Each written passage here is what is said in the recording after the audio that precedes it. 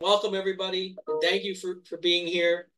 Uh, I want to thank everybody who had a hand in making this talk happen. Too many people to name, but not the least of which is our esteemed speaker here today, Dr. Bloom.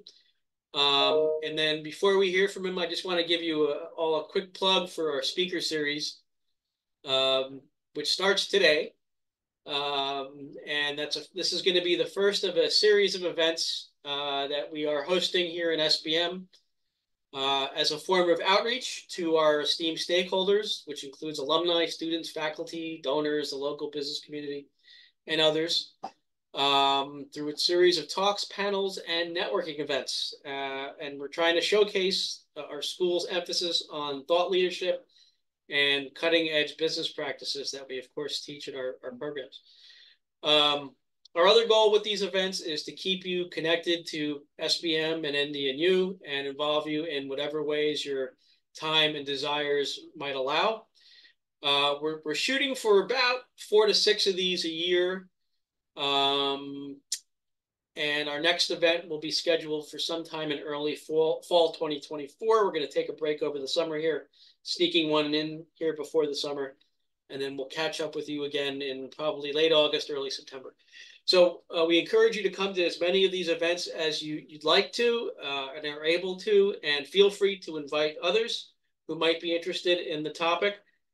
Um, and of, of, course, if you have ideas for topics or speakers, or you want to be a speaker, or you know somebody who might want to be a speaker, or you have any other suggestions for these events, uh, please just get in touch with me. I will drop my email in the, I guess we're using the Q&A, not the, the chat, but it's basically the same thing. So I'll put that there at some point before we get off. And now on to our speaker for today. I'm going to just give a brief int introduction and then let him take the floor.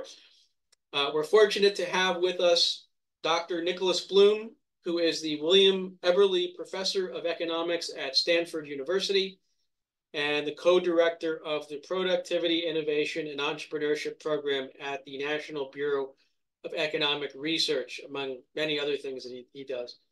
Uh, Dr. Bloom has been researching and sharing his views on the impact of working from home for over 20 years. So even though it's kind of a new thing, he's been studying it for, for, for a long, long time. Um, and is regularly featured in the New York Times, Wall Street Journal, CNN, and other major national and international media. And finally, he was elected to the Bloomberg 50 in 2023 for his impact on uh, WFH research, working from home research. So without further ado, and of course, we're presenting to you virtually in the spirit of the, to the topic of uh, du jour, we'd like to welcome Dr. Nicholas Bloom, uh, who will talk to us about the present and future of remote work. Dr. Bloom. Jordan, thanks very much. Um, if you can allow me to turn on my video, I can even appear as well. uh, uh, I you cannot start your video because the host has stopped it right now. But uh, all right, Tanya, if you can do the honors on that. How how do we do on the slides? I think I can share my slides. Okay. What, I, will Can you see my slides? Yes. Yeah, I just there's no me right now, but okay, I could start going. You have to trust me that I'm actually here, but. Uh, we trust you. All right. Okay. Um, yeah, if you can, why do, if you're able to turn my video on, feel free to do that. But I'll just go ahead without any video. But I'm actually here. So um, I'm going to talk about the future of working from home. Um, so this, uh, you know, this is something oddly enough, as Jordan mentioned, I've been working on for 20 years. So it's pretty quiet before 2020, and then in the last four or five years, it's been uh, kind of crazy in terms of how much interest there's been in it. So I'm going to given the time, I'll be relatively fast, concise. Um, talk about three different things just data. What does it look like now? Talk about management. Uh, how might you manage hybrid, particularly? And three quick impacts on the economy, including house prices and golf. If you play golf, uh, it's probably affected your golf game. So, what do we know about work from home levels? So, this is a chart of the level of uh, work from home in the US. So the number of full paid days folks are working from home.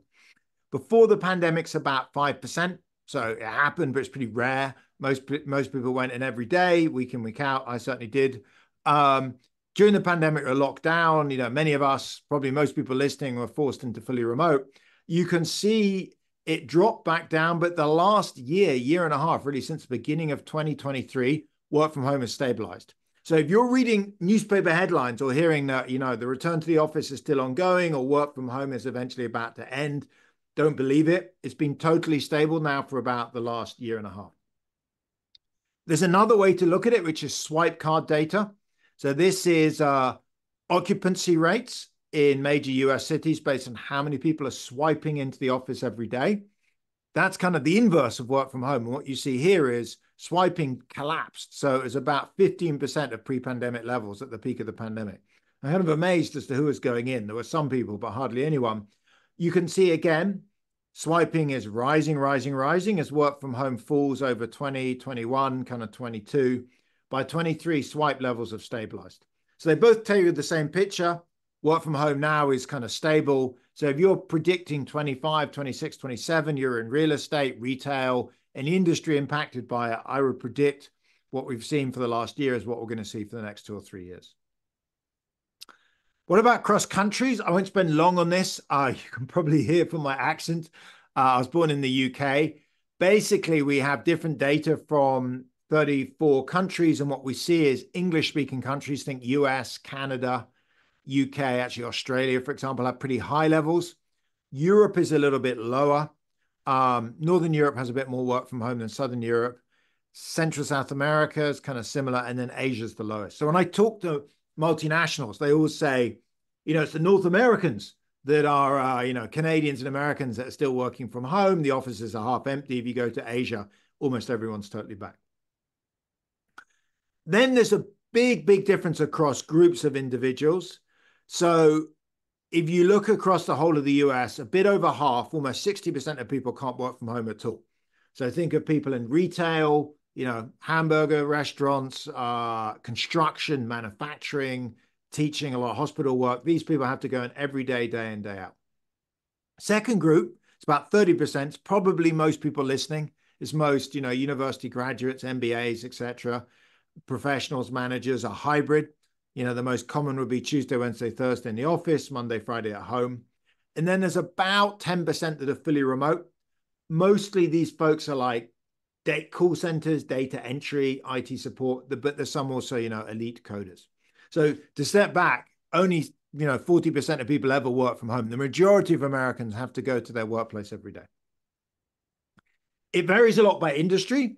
Uh, tech is right up there. Tech is the highest level of work from home which is why in the Bay Area, it feels like, you know, everyone's working from home. It feels like this SF and, you know, San Jose are half empty because they're so tech and finance heavy. If you go down to the other end, hospitality, food services, transport, warehousing, there's hardly anyone working from home in those industries.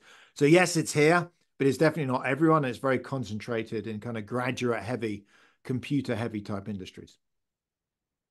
Also varies over the life cycle.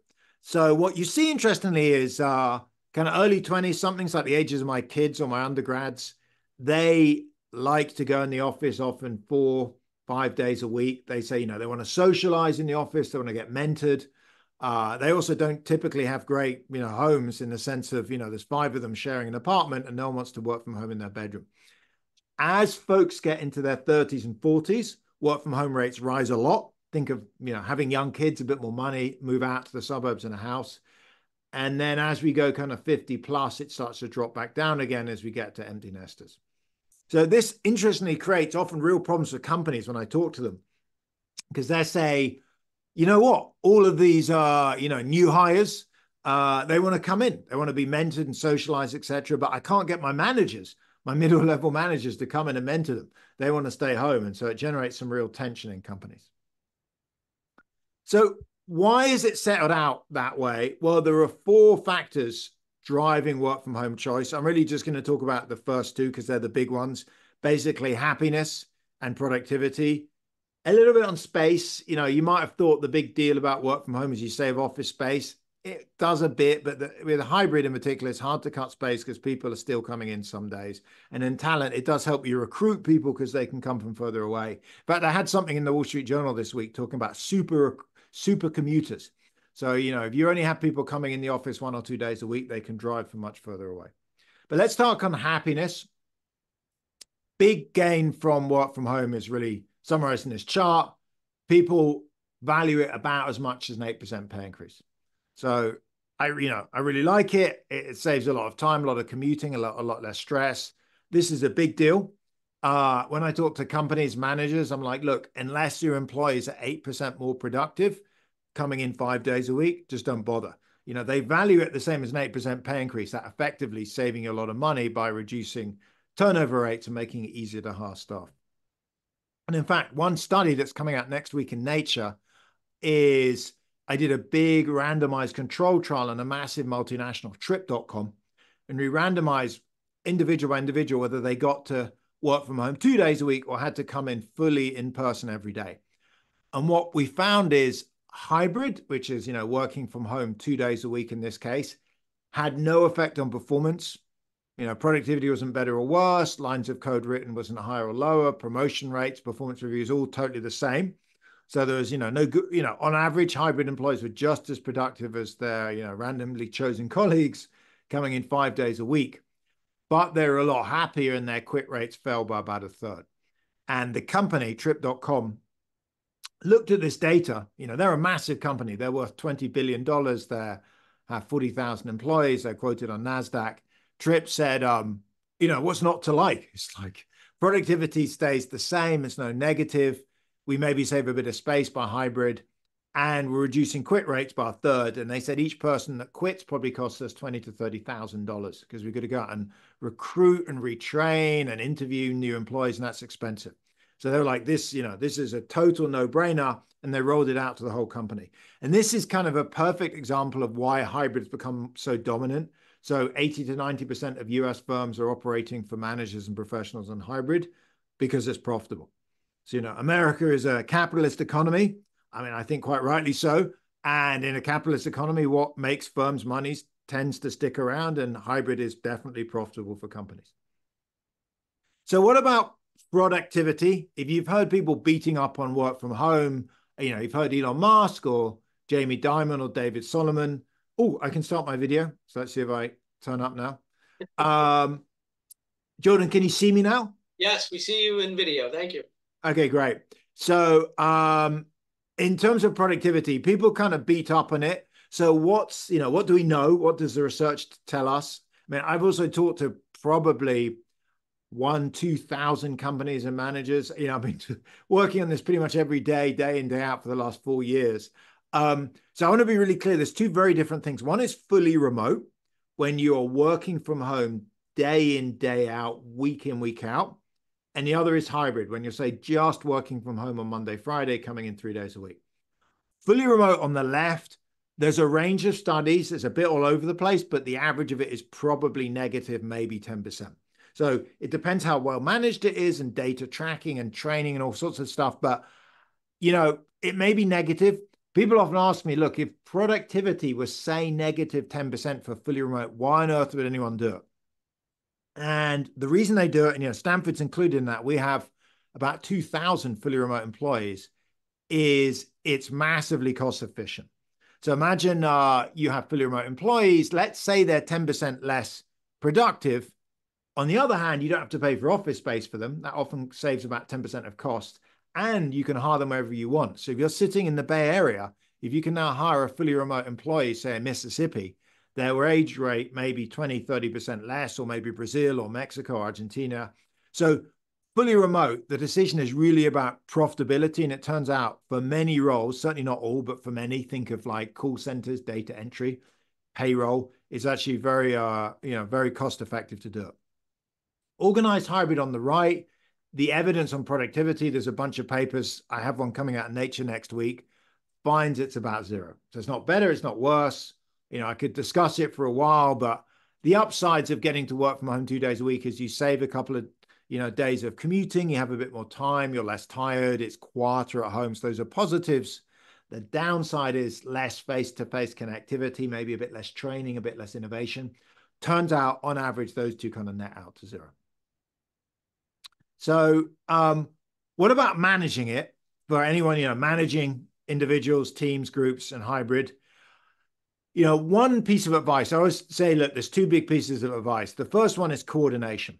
So, when you survey people and you ask them, look, what are the big benefits of coming into the office? Why would it ever be worth commuting into the office? And, you know, millions of people do every day.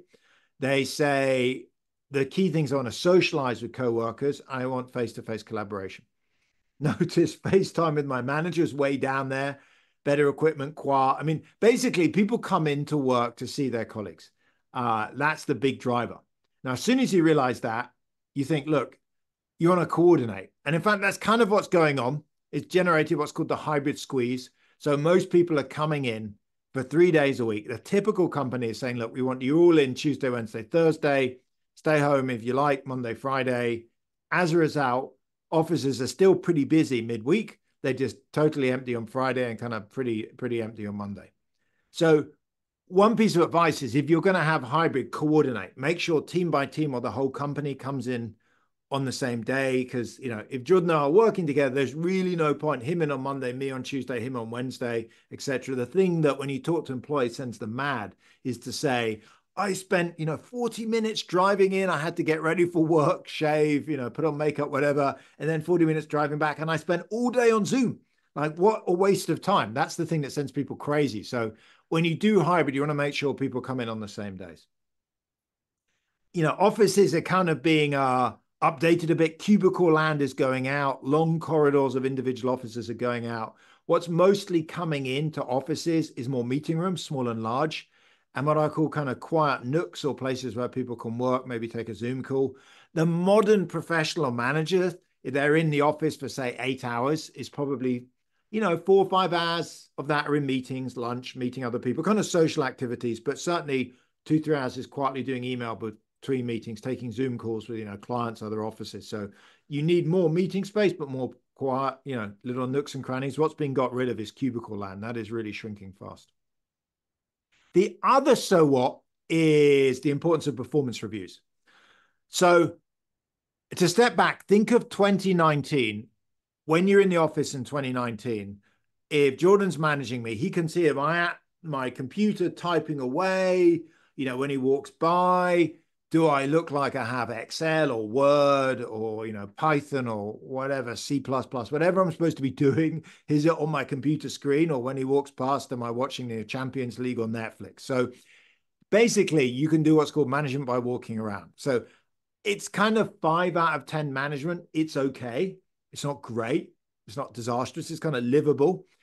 You can do that in the office. So, you know, for decades, we, a lot of firms use management by walking around. They effectively evaluate inputs, how much time you're putting into your job. Problem is, when you're working from home, there is no way to evaluate inputs. Jordan can't tell if I'm at home really what I'm doing. He could get surveillance software, keystroke monitoring. You know, it's pretty creepy. People really dislike it. I really would not advise anyone to do it, which means he kind of just, he doesn't really know what I'm up to. It's kind of hard. Sure, do I respond to emails quickly? But that's about it.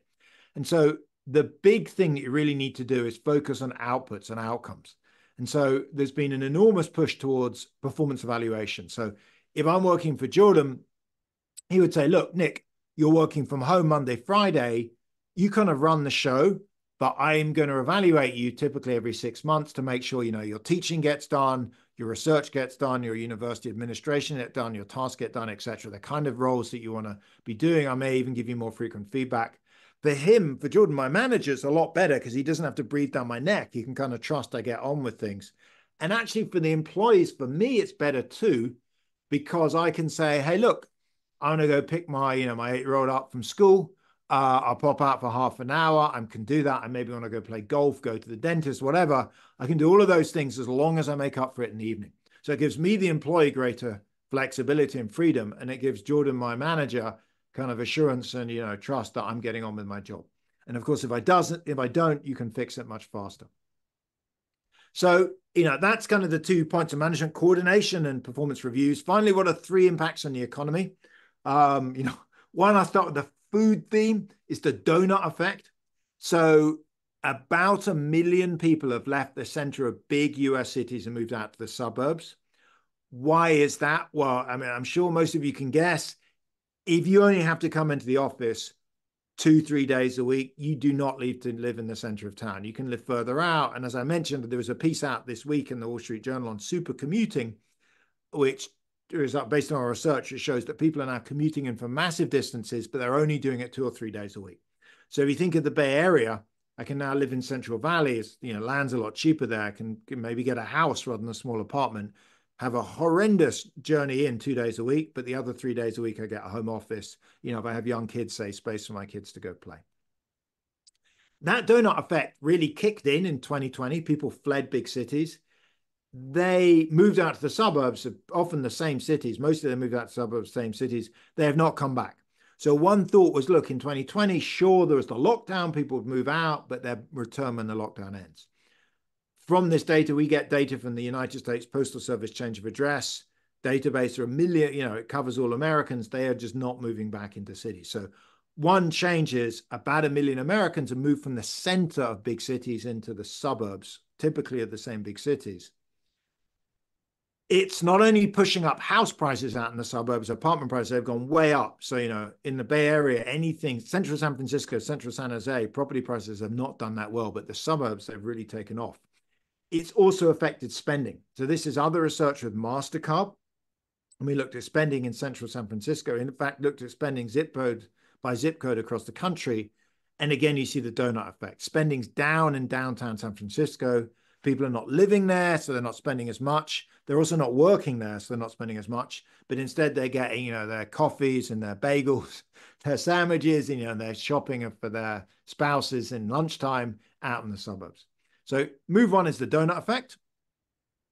Fact two is people are now living further from work. So this is research with Gusto. It's a big payroll company. It's based in uh, San Francisco. And from this, we know where people live and where they work. And what we see is people are moving further away from work post pandemic, quite a lot further, roughly twice as far away on average. What's this been driven by? It's mainly been driven by new hires. So if you look at people hired pre pandemic, yes, they're moving away, but not in huge numbers. You know, if you think about yourself, I don't know many people have moved further away from work, some, but not many. Mostly it's new hires. So what companies are saying is look, if folks only need to come in two days a week, we can think much further afield about where we hire. Say if you're in, you know, Redwood City, pre-pandemic, you may have hired people just that lived, you know, south of San Francisco, north of San Jose, because they got to drive in every day. Now they're only going to come in two days a week. You're like, way, you know, we can go way north of San Francisco, below San Jose, back out into Central Valley, hiring people that live further away. So sure, we got a bunch of super commuters, but they've only got to do that twice a week. Finally, the golf effect. Now, I don't play golf actually. I've tried. I tried to learn, you know, many years ago, but I was just terrible at it. I never really got the hang of it. But I spoke to so many managers and employees that told me, um, you know, the golf courses were coming rammed. That I decided to do some research on this. So, uh, with another co-author, Alex Finham, we used the INRIX GPS data, and we defined playing golf. It has millions of journeys every day we define playing golf as driving to a golf course and spending between two to six hours there. So it's not perfect, but you know, very few people walk or bike to golf courses. And, you know, it's hard to think of what else you'd be doing between two to six hours at a golf course. You're not living there, and you're probably it's probably too long for lunch. So what you see here is in 2019, people are playing golf on the weekends. Less in the week, it happens, but it's less common. 2022, 2023, there's an explosion of golf. It's kind of jammed all day, every day. Here's the hourly numbers.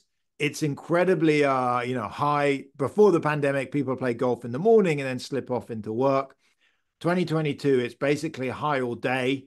This is August data. The reason it drops between 1 and 2 p.m. is it's just so hot in the south. It's just unbearably hot. You can't play golf then. But basically, the golf courses, when we've talked to people running them, they just say they're just jammed, like they're now totally full. And what's going on is people are working from home and they're getting their job, their work done. Most I talked about how hybrid is not damaging productivity, but they're playing golf a bit during the day. And you know, I think that's fine. They're getting their job done at you know in the evenings, on the weekends, and other days. I think the important fact this is one is for anyone managing, some of your employees are probably in this database. So this is why performance management really matters. And secondly, this is not just golf. This kind of golf effect is boosting midweek demand for many leisure activities, things like pickleball, hair salons, you know, shopping malls out in the suburbs, gyms. I mean, gyms, you know, they were cursed in 2020. Nobody wanted to go into a sweaty indoor gym in the middle of a pandemic. Now they're really booming because there's a lot of demand of people want to go to the gym midweek. So a given gym can run more people through over the week and therefore make more money. Um, you know, yoga studios, even dentists, even dentists are doing well. You can, it's more easy to visit the dentist if you're working from home. So what about the future? Um, you know, I wrote a piece in The Economist last year. I predict what I call a Nike swoosh. Basically, work from home dropped a bunch, is kind of stabilized now, and in the long run is going to slowly pick up. Why the big driver in the long run, I'm thinking five, certainly 10 plus years, is better technology. So technology, think of cameras, uh, you know, audio. Yesterday, actually, I went up to San Francisco, spent half a day with a company that makes portals. They're eight by eight foot huge screens with cameras in the middle. And, you know, we, Jordan and I could like have life size meetings and I could see his whole body, him walking around. It, it just felt more lifelike. And this is the kind of thing holograms. I met a, a company that was starting up a hologram business. This is what's coming down the pike. So, you know, looking five years out, working from home is actually going to be more common than it is now. And in fact, you know, we put a piece out in Harvard Business Review last year where we surveyed about 500 US managers and they said the same thing. They said, look, work from home is clearly well up from before the pandemic. And if you look five years out, their view is it's going to be a, you know, the same as what it is now, if anything higher. So to conclude, work from home is here to stay. This is the new normal. If anyone tells you the return to office is still ongoing, you know, that's just not true. That's you just do not see that in the data. It's been totally stable now for 18 months. I mean, the big thing looking forward is for hybrid, particularly, which is the hardest to manage, coordinate days in, make sure people have performance management reviews. Finally, you know, in the long run, work from home is going to start growing again, as it was for you know 50 years pre-pandemic. And I should say I'm on LinkedIn. Please reach out and connect up, and I'll uh, stop and go to Q and A. Okay, thank you, Dr. Bloom, for an excellent presentation, very informative. And uh, we have a few minutes for, you know, we would have, would have had more if we didn't have the glitches, but we still have a few minutes. So let's do some Q&A. I'm going to invite everybody to, since you, we can't see you, just put your question into the chat. I'm sorry, into the Q&A. And I will read aloud the questions to Dr. Bloom and he will answer them. So let's give everybody a few seconds. Well, I'll share the slides. You, I'll send you soon as you're off the call. In fact, I can probably do it now. You know what? If anyone wants the slides, I think uh, you can do it right through the Q and A. I think. Yeah, I can do it through the Q and A. So right now, this is the one of you know doing this remotely. There normally it's better. Here we go. So I put the Dropbox link. You're welcome to take those slides. If anyone wants to, there is no IP on them. As an academic, you know, I don't have any ownership on these things. So if anyone wants to use the slides or share them on, you're welcome to. All right, let's see. Any questions coming through? Well, I'll start with one, with one since everybody can hear me. I won't put it in the chat. Um, what what is your knowledge about kind of you know the, the RTO mandates where the, the you're saying it's it's not backing off. Uh, sorry, the, you know, return to work is not happening like they thought it might. But then you see companies like Facebook calling workers back and threatening to fire them or actually firing them if they don't come back. So do you have any any thoughts to, to share on that? Yeah, totally. So um, th- the issue is it's to do with the incentives for journalists. So I know and talk to tons of journalists all the time. Their incentives are to write stories that people read, click, pass on, you know, comment on, etc. So if you're a journalist for the New York Times, the Wall Street Journal, that's really what you're after. Good stories, but ones that people read. The issue is everyone likes to read kind of shock and outrage stories, which is basically RTO. So what you find is a story goes out on Twitter or LinkedIn says that I don't know Zoom is calling people back. People are like frantically clicking on it, commenting it, sending it around. The thing you know explodes. Journalists really happy. If instead you say company X like Allstate is getting rid of the offices and people are going to you know more work from home, everyone's like yeah whatever you know, and they move on and scroll don't and don't click in it. So what's happening is very unrepresentative coverage. So we know from big data there's many firms calling people back as there are firms relaxing, letting people increase their work from home, but you just don't read it. It's kind of like the, what I call the shark attack phenomena. You know, no one writes a newspaper article saying no shark attacks on, you know, in America today. But as soon as there's one, the newspapers will cover it. So that's why when you read the paper, it kind of feels like that. Read the media. In practice, it's been, you know, it's stalled out really since, you know, the last 18 months. Right. Okay. So we have another question Um, Slack did studies in 2021 and 2022 of tech workers and found consistent results, but looked as well at race as a considering factor, with people of color expressing greater satisfaction with remote and hybrid work than white workers. Have you also looked at race and sex as well as age when looking at preferences? Yes. So um, we have re really very good data on gender, actually. So the paper on Nature that's about to come out next week shows that we, I mean, we've seen this in many surveys and many different setups. Women have a higher preference to work from home than men. It's not massive. I don't want to overplay the difference, but yeah, women do have a slightly higher preference to work from home, particularly women in their 30s and 40s, and it looks like it's correlated with childcare. Um, on race, I, I, twist the question slightly. So what we did is we surveyed people and asked them, "Are you a minority?" We actually didn't use that word. We just said, "Is less than ten percent of your co-workers the same gender?" Race, age bin, which is by decade, like 20s, 30s, 40s, etc., politics and religion. And what you see is folks that have less than 10% of their co-workers in any of those bins are slightly keener on working from home.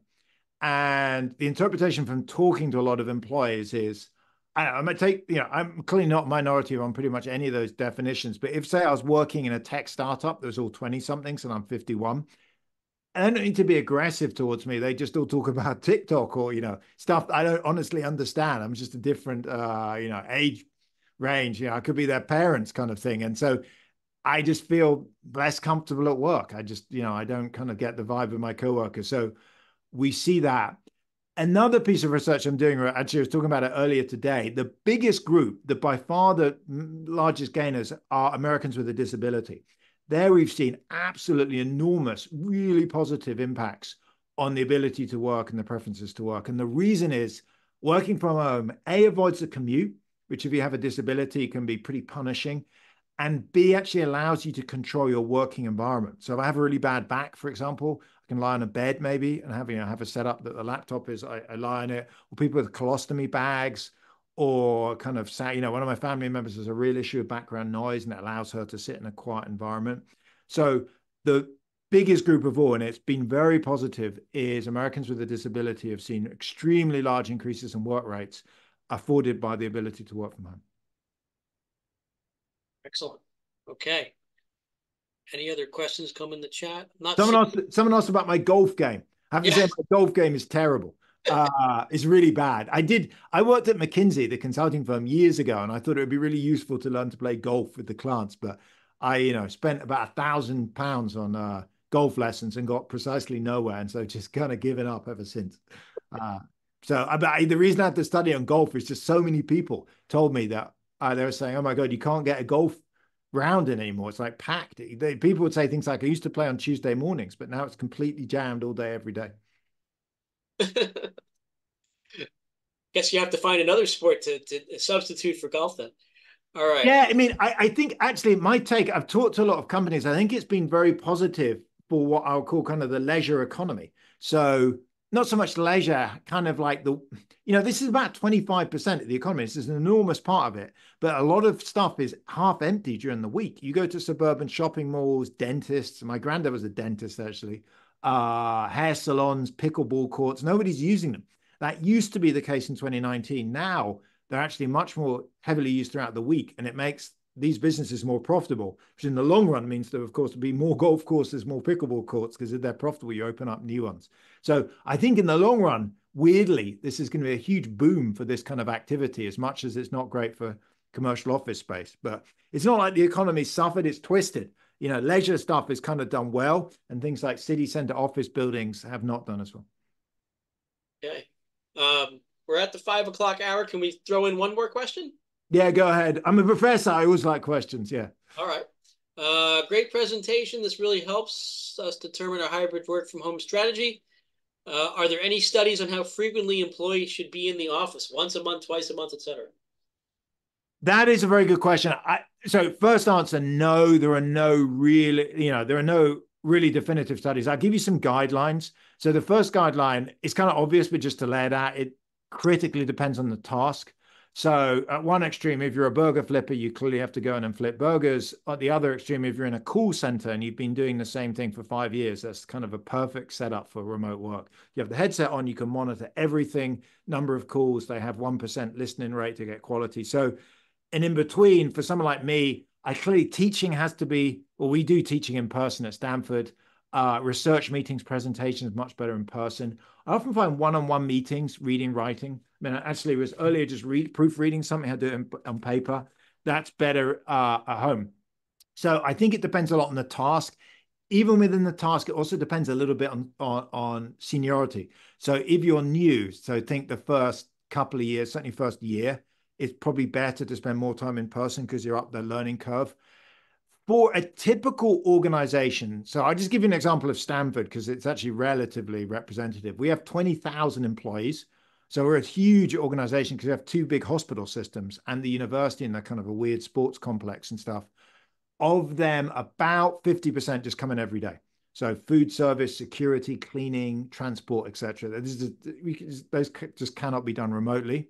Um, at the other extreme is a couple of thousand people are fully remote, which may seem surprising, but things like HR, payroll, some payroll, call centers, data entry, things that they don't really need to be on campus, IT support. And if they're off campus, we can hire them, say, in you know, the southeast of the US, where we can get much better people for this pay rate. And then faculty and staff like me tend to come in about two, three days a week.